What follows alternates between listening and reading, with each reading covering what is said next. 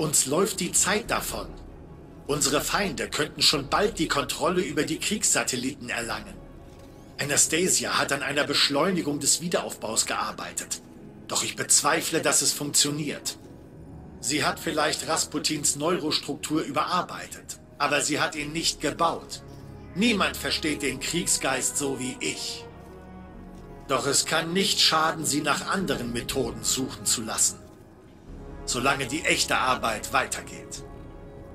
Rasputins Algorithmus kann zweifellos seine Codebasis rekonstruieren. Er braucht nur weitere Subgeistdaten. Brich in die Tresore und hole mehr davon. Vielleicht kann uns Anastasia dann ihr Nebenprojekt zeigen, wenn du zurück bist.